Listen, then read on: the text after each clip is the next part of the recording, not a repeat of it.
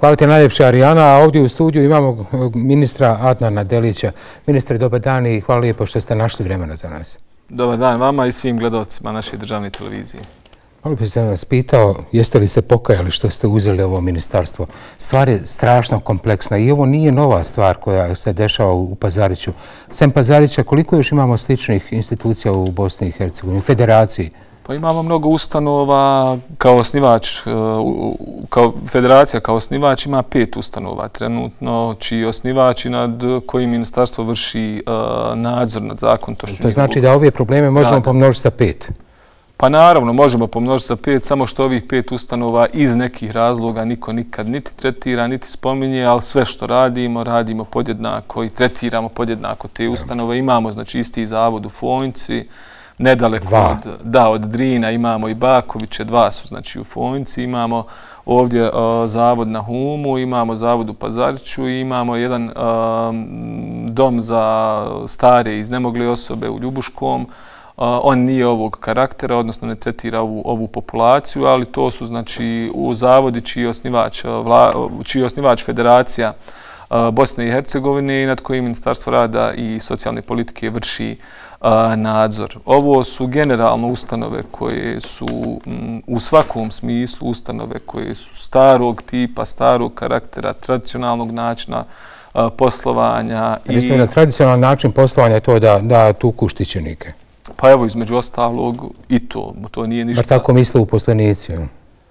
Pa kada imate uposlenike koji nisu educirani za posao koji trebaju da onaj radi, onda se dešavaju ovakve stvari. Zavod za pazarć je poznat po zapošljavanju neadekvatnog osoblja, poznat po stranačkom zapošljavanju, poznat po nezakontom zapošljavanju. Deseci istih imena svuda, u svim, svim dijelovima. Pa evo unazad nekoliko dana ili mjeseci vidjeli smo da, i, da imamo izvančne presude bivših, bivših direktora za sve nezakonte i nelegalne radnje koji su se uh, radili u zavodu u Pazarču i sve je to na neki način plod za, plod zapuštenosti i toga da se uopšte ova tema nije tretirala, osim kad dođu ovakve incidentne uh, situacije uh, u fokus. Mm, svjedoci smo da se ne priča o nasilju nad ženama, osim kad se desi evo, slučaj u gradaću, o maloljetničkoj delikvenciji, osim, osim kad se desi slučaj u Lukavcu. I pitanje je ko sad priča o Lukavcu? Ko priča o ovom uh, događaju koji se desio evo prije ovog u gradaću. Ne priča naravno niko osim onih koji moraju tim da se bave, ali ono što je činjenica jeste da je oblast socijalne zaštite najmanje tretirana i najviše zapuštena u državi Bosne i Hercegovine. Uvijek pričamo znači, o zdravstvu, uvijek pričamo o kolektivnim ugovorima zdravstvenih radnika, o kolektivnim ugovorima uh, uposlenika u sigurnosnom sistemu, u obrazovnom uh, sistemu, ali kada smo pričali o, o bilo kakvim pravima socijalnih radnika? Evo sad se vraćamo i to vraćamo se direktno na Pazarić. E, najavili ste, vidio sam i sam to na vašoj preskonferenciji, najavili ste smjene. Čak ste i do sebe samog došli ako je potrebno da se, da se ljudi maknu sa položaja.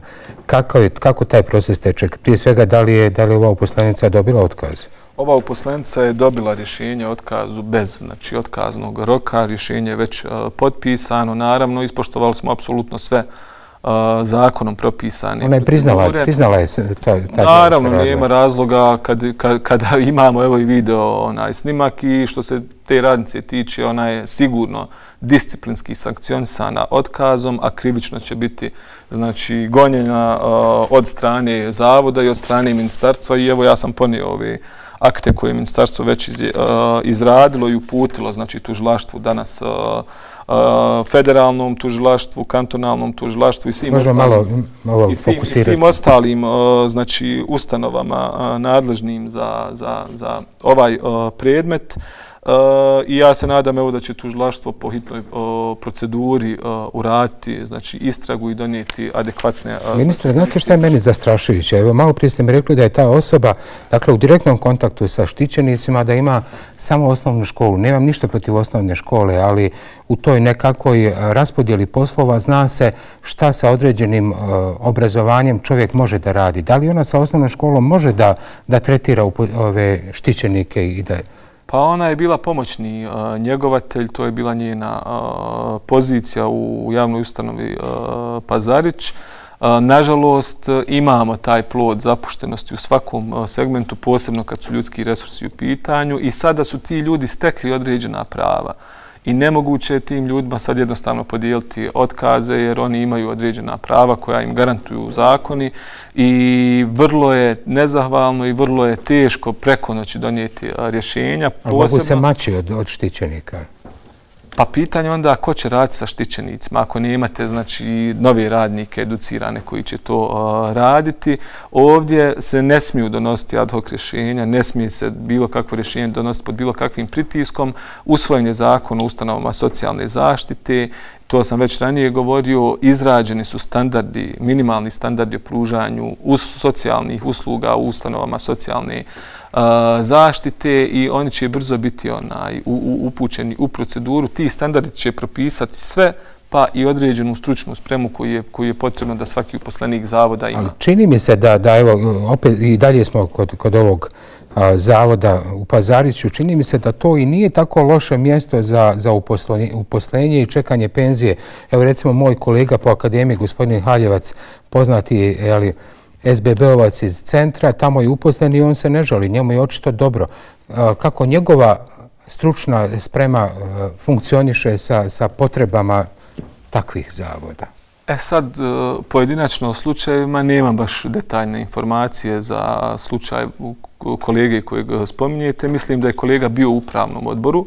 Mislim, Zato ne treba nikakvo obrazovanje, je li tako? Pa ako Samo politička ste, podobnost. Ako ste politički znači, orijentisani i podobni, tako je. Uh, mada bi m, političke stranke trebale da snose odgovornost za ljude koji delegiraju uh, u upravljačke strukture, ne mogu ništa reći konkretno o imenu i prezimenu. Bilo bi nepošteno i nepravedno, ali mislim koliko se sjećam u ovih proteklih par mjeseci da je osoba koju ste spomenuli podnijela ostavku na mm, mjesto člana upravnog, upravnog odbora, ali evo nisam baš najsigurniji jer nisam imao dovoljno vremena da se baš detaljno o tome onaj svemu raspitam. Jedna od mjera koja treba se poduzme to je, to je kontrola. To su video nadzori, 24-satni video nadzor. Iz ovih vaših saopštenja tokom ove pres konferencije shvatio sam da nemaju svi sve institucije, svi ti, eh, svi ti centri nemaju 24-satni video nadzor, a kad smo već kod snimanja video nadzora, eh, upalo mi oči to da ste rekli kako biste vi radije, da ste bili u prilici to da snimate, ostavili telefon po strani i, i zaustavili ovaj, ovaj čin agresije prema, prema štićeniku. Međutim, razmišljam i shvatam vas, dakle ljudski, ali razmišljam da bi u tom slučaju mi svi ostali ostali uskraćeni za dokument o, o, o toj agresiji konkretne koja se desila? Da, evo reći ću prvo ovu stvar vezanu za video nadzor. Određene ustanove imaju u određenim objektima video nadzor kada je Pazarć u pitanju i naše ustanove čiji smo osnivači. Ja kao resorni ministar sam već uputio akte o trenutnom stanju ustanova. Po pitanju video nadzora, da, uradili smo i elaborat odmah sa istraživanje tržišta po pitanju e, troškova tog samog elaborata i video nadzora. Nećemo štediti sigurno na tome. Želimo da svaka naša ustanova u svakoj prostoriji u kojoj je to zakonski moguće da ima video nadzor, da ga i ima. Uh, kada je ovo drugo pitanje pita, uh, koje ste postavili, možete me samo napomenuti. E, snimanje, da li snimati ili ne? Da. Možda je pogrešno protumačeno ono što sam ja onaj rekao. Nisam rekao da ne treba da se snima ali je zaista čudno kako onaj koji je snimao, makar nije riječima, pokušao spriječiti onoga ko vrši nasilje nad osobom sa onaj eh, poteškoćama u razvoju. To je čudno i ljudsko je pitanje zašto nije ništa uradio da to spriječi, jer je njegovo, njegova profesionalna obaveza po zakonu bila da prije svega spriječi to a ne da snimi. Pohvalno je to što se snimilo i svakako podržavam apsolutno, ali evo da sam ja bio jednom sam rukom možda mogao snimati, a drugom pokušati bilo šta uraditi kako bi spriječio to nasilje. Mislim da se to i moglo. Osoba je imala hiljadu rješenja mimo ovog nasilja koje je izvršeno nad našim štićenikom i evo već kada je tako, Znači svako treba da snosi odgovornost za ono što je trebao, a nije uradio. i naravno ukoliko se pokaže da određeni, određene osobe koje su bile uključene u ovaj događaj ne snose nikakvu odgovornost, naravno neće, neće ni a, istu snositi, ali je potrebno da prispitamo apsolutno svačiju odgovornost krenuši od resornog ministra Adnana Delića pa onda do svih ostalih koji su eventualno nešto mogli uraditi, a nisu uradili. Sistemska rješenja e, su definitivno goreće, goreće pitanje, goruće pitanje koje se definitivno mora što prije riješiti. I to ne samo zbog ovoga, već nažalost i zbog, zbog ove, ovog tragičnog, brutalnog ubijstva u Gredašcu. Kako uopšte, kako uopšte a, napraviti društvo koje funkcioniše? Kako napraviti društvo koje neće hiljadama lajkova da podrži tog, tog a, monstruma, monstruma koji, je, koji je ubijao svoju, svoju nevjenčanu suprugu? i, i to sve prenosio u živo? To je vrlo teško pitanje. Ono što ja mogu da kažem jeste oblast kojom se trenutno bavim, da imamo određenih problema, a to je prije svega zbrinjavanje osoba, žrtava takvog nasilja, posebno evo, u sigurnim kućama o kojim danas razgovaramo, ali možda i važnija stvar jeste pitanje efektivnosti i efikasnosti centara socijalnog rada koji su prva linija kad je prijava e, nasilja u porodci u pitanju. Ti centri su apsolutno devastirani, ti socijalni radnici su apsolutno degradirani. Degradirani od strane sistema i možete slobodno da istražite ovo sve što govorim, da pozovete mnoge socijalne radnike širom Bosne i Hercegovine, on će vam sigurno potvrditi da se trenutno bave isključivo administrativnim, birokratskim poslovima, a ne suštinom svog svoje djelatnosti. Oni su dužni da pruže podršku znači žrtvama nasilja, a ne da to samo bukvalno ono evidentiraju i provedu. Oni nemaju vremena da se od administracije bave svojim poslom. Ti centri su apsolutno dekapacitirani i strategija koju smo uradili evo u proteklih par mjeseci i koju ćemo puti zvančno u proceduru je detektovala sve ove probleme i federacija i država Bosna i Hercegovina mora da vrati dignitet i socijalnim radnicima, ali i centrima i službama socijalnog rada. Imamo tu problem kompleksnih nivoa nadležnosti. Centri socijalnog rada su u nadležnosti lokalnog nivoa samouprave u, kantonu, u nekim kantonima u kantonal, na kantonalnom nivou,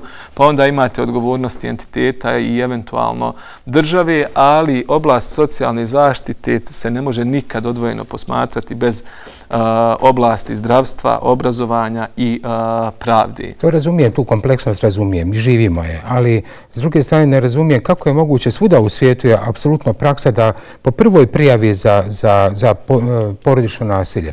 Prvi koji će se ukazati na vratima, koji će zakucati na vrata je socijalni radnik. I na osnovu njegovih preporuka, odluka, mišljenja i nalaza će se sve dalje, sve dalje i ostale službe države funkcionisati. Kod nas je taj, taj, taj, taj lanac potpuno isprekidan. Kod nas je taj lanac potpuno prekinut zbog dekapacitiranosti prije svega centara socijalnog rada, a da ne kažem zbog njihove needuciranosti. Oni su educirani da poštuju znači, birokratske procedure koje su im naložene evo, prije svega sa federalnog nivoa. Pa imate razne zakone po kojim oni moraju da postupaju. Oni jednostavno nemaju vremena da se bave bilo čim a, što je suština njihovog posla. I to moramo promijeniti. Ideja je da sistemski riješimo probleme centara socijalnog rada, da se oni kapacitiraju u svakom smislu i materijalno, ali generalno i suštinski da se ojačaju unapređenjem ljudskih resursa kada su centri socijalnog rada u pitanju. Imamo još jedan element koji izlazi iz domena vaše nadležnosti, vašeg ministarstva, to je strah i, i nezamjeranje ne želim, ja kao sudija ne želim da se zamira ili me strah tog nekakvog lokalnog moćnika, komšije koji, koji mlati svoju ženu. Policija ne želi da sebi upropaštava noćnu smjenu i, i sam sam svjedok da dva puta policija dolazi na vrata umjesto da, da odvede nasilnika, oni ga smiruju i na njegovo obećanje da neće nastaviti s nasiljem, oni odlaze ne privodeći nikoga, a on naravno već za 15 minuta nastavlja po starome. I to je savršena lekcija da, se, da zločin takve vrsta se apsolutno isplati. A evo vratimo se sigurne kuće, pomenuli ste ih. Njihovo finansiranje, imali smo ovdje često problema i, i informacija o, o e, nedostavljujućim sredstvima za finansiranje sigurnih kuća. Kako je trenutna situacija? Može li ministarstvo tu staviti tačku na taj problem? Može i stavit ćemo tu tačku ako Bog da nadam se e, do kraja godine donošenjem zakona o socijalnim uslugama u kojim ćemo prepoznati e, e, sigurne kuće kao pružavce određenih socijalnih usluga. Ove godine je budžet za socijalne kuće povećan 100%. Nažalost, socijalne kuće imaju, sigurne kuće imaju obavezu da se prijave na javne pozve i, na primjer, ukoliko se desi da neka od njih nije udarla pečat na neki papir, dokument, oni ne ostvari to pravo i to se mora promijeniti, ali ja se evo nadam donošenjem ovog zakona da ćemo i povećati sredstva, ali sistemski riješiti njihovo finansiranje. Ozbiljni su izazovi kada je rad sigurnih kuća u pitanju. Prije svega mislim na kadar. Mi finansiramo određene usluge koje oni pružaju, ali sigurne kuće imaju ozbiljne, kao i svi drugi na tržišu trenutno rada, imaju problem sa kvalificiranom radnom snagom, jer možda kad tek educirate određeno osoblje da se bavi ovim problemima koji su zaista kompleksni, koji su pravo osjetljivi, koji podrazumijevaju visoku dozu posvećenosti i svega ostalog, kad završite taj proces edukacije, ti ljudi možda odlaze... Njima sigurne kuće nisu interesantne. Gdje imaju onaj bolje, da, bolje uslove. Ja sam obišao sigurne kuće, njih je pet na području Federacije Bosne i Hercegovine i ono što doživite u sigurnim kućama ne možete nigdje doživiti. I žalosno je ovo što ste rekli, mi smo društvo u kojem je još uvijek možda normalno da neko vrši nasilje nad ženama, u kojem je normalno da nemate razumijevanje u centrima socijalnog rada kada želite to da prijavite i u drugim organima. Ja mm, se nadam da ćemo evo uticati posebno nakon ovakvih e, slučajeva da se ta praksa apsolutno promijeni i da, da, da, da stanemo u zaštu i porodice u, u, u, u, u kompletu, ali posebno znači najosjetljiviji članova te porodice, a to su sigurno žene i djeca koji uglavnom, koji uglavnom to uvijek trpe zajedno sa, sa, sa majkom. Evo pred kraj razgovora vratimo se opet Pazariću. Za subotu zakazani protesti pod nazivom Reci ne zlostavljanju i diskriminaciji osoba i djece sa invaliditetom i potoškoćama u razvoju. Ja bih to svrstao u sve ove proteste koje smo imali ovih proteklih dana. Koliko oni uopšte pomažu ili je to samo pranje naše savjesti da smo eto rekli svoje ne, a onda se vratili svakodnevne prakse za koju ste sami rekli da, da nije ohrabrijuće? Apsolutno podržavam svaki vid e, ovog načina izražavanja nezadovoljstva bilo čim radom i... Je li to vam neki vjetar u leđa da kad nosite nove zakone, a, a, vrlo često izlazite sa nekim poboljšanjima zakona iz socijalne oblasti da, da, da imate iza sebe glas ljudi? Pa bitno je da kada donosite zakone da konsultirate sve zainteresovane strane i da imate naravno vjetar u leđa od onih koji su na neki način a, oni koji to žive, ne onih koji to u medijima kažu i a, a, koji zastupaju te neke interese u javnosti, ali u suštini nemaju prave a, informacije. I vi ćete vidjeti da često protesti koji se organizuju ne daju određene a, rezultate. Imate sada situaciju da proteste organizuju oni koji apsolutno nemaju nikakvu vezu sa određenim temama i oni pišu određene zaključke koji nikada možda ne dođu do resornih nadležnih institucija, a ne da budu na neki način oni implementirani, zato što oni nisu usklađeni sa određenim zakonskim propisima, nisu provodivi u suštini onaj... Ali dobro zvuče.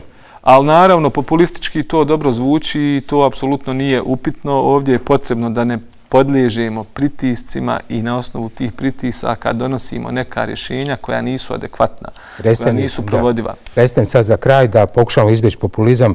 Da li je moguće u vrijeme vašeg